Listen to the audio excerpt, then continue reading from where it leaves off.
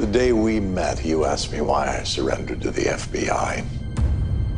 There were many reasons. One of them was Berlin. That's why he's here. Because the work we've done has forced him out of the shadows.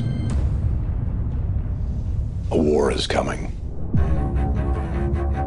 A man calling himself Berlin hired a bounty hunter to find me and my associates. I want a name. We do need to move quickly, though. We really should kill you. Funny thing, I recently acquired three Hellfire missiles at a considerable discount. If you give me what I want, I can still call off the other two.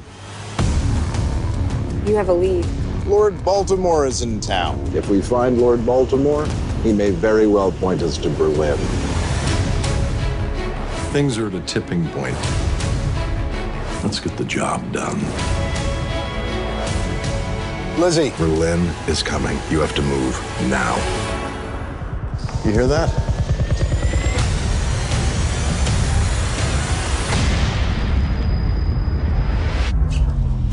Aren't we confident today? I'm confident every day.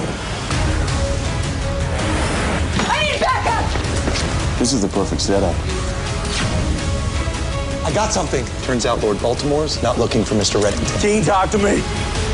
Uh, Mr. Reddington, I presume. I'm gonna do to her what you did to my daughter. I'm gonna send her back to you piece by piece by piece. The Blacklist season premiere Monday after The Voice. Must see Monday is back on NBC.